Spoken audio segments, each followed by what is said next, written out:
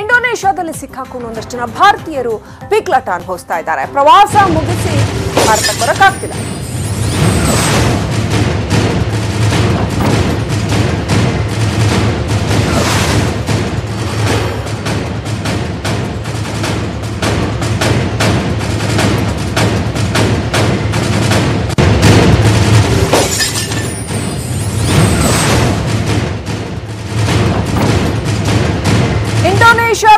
ಸಿಲುಕಿ ಭಾರತೀಯರು ಪೀಕಲಾಟ ಅನುಭವಿಸ್ತಾ ಇದ್ದಾರೆ. ಪ್ರವಾಸಕ್ಕೆ ಅಂತ ಹೋಗಿದ್ದಾರೆ.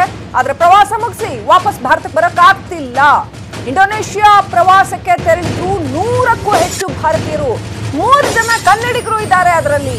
ಇಂಡೋನೇಷ್ಯಾದಿಂದ ಭಾರತಕ್ಕೆ ನೇರ ಫ್ಲೈಟ್ ಇಲ್ಲ.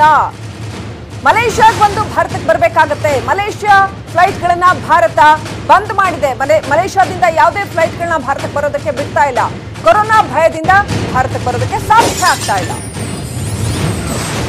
ನೇರ ಫ್ಲೈಟ್ ಇಲ್ಲ ಇಂಡೋನೇಷ್ಯಾದಿಂದ ಭಾರತಕ್ಕೆ ನೂರಾರು ಭಾರತೀಯರು ಪ್ರವಾಸ ಹೋದವರು ಅಲ್ಲೇ ಸಿಗಾಕೊಂಡಿದ್ದಾರೆ ಅದರಲ್ಲಿ ಮೂರು ಜನ ಕನ್ನಡಿಗರು ಇದ್ದಾರೆ ಅಂತ ಗೊತ್ತಾಗಿದೆ.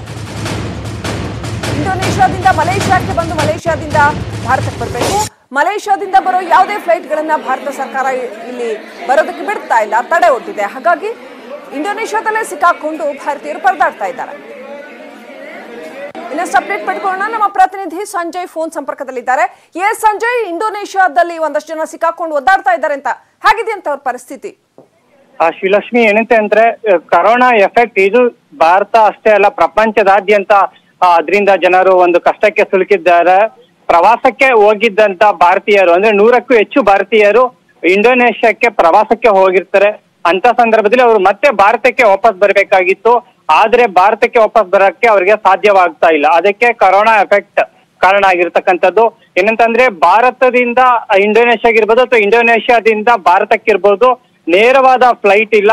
ಮಲೇಷ್ಯಾಗೆ ಬಂದು ಬರಬೇಕು, ಇಲ್ಲ ಸಿಂಗಾಪುರ್ಗೆ ಬಂದು ಬರಬೇಕು. ಆದ್ರೆ ಅಲ್ಲಿದ್ದಂತ ನೂರಕ್ಕೂ ಹೆಚ್ಚು ಪ್ರವಾಸಿಗರು ಮಲೇಷ್ಯಾಗೆ ಟಿಕೆಟ್ ಬುಕ್ ಮಾಡಿದ್ರು ಏರ್ ಏಷ್ಯಾ ಮುಖಾಂತರ.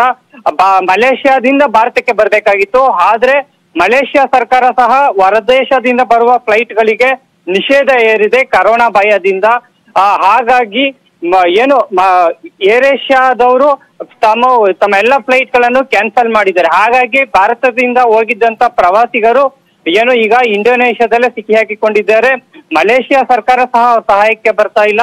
ಇತ್ತ ಭಾರತೀಯ ಸರ್ಕಾರದ ಒಂದು ಸಹಾಯಕ್ಕಾಗಿ ಅಲ್ಲಿ ನೂರಾರು ಭಾರತೀಯರು ಒಂದು ಕಾಯ್ತಾ ಇದ್ದಾರೆ. ನಮ್ಮ ಕಷ್ಟಕ್ಕೆ ಕಷ್ಟ ಆಗಿದೆ ಇಲ್ಲಿ. ಸಹಾಯಕ್ಕೆ ಬನ್ನಿ ಅಂತ ಇದ್ದಾರೆ. ಕರ್ನಾಟಕದವರು ಸಹ ಅದರಲ್ಲಿ ಸಿಕ್ಕಿ ಹಾಕಿಕೊಂಡಿದ್ದಾರೆ.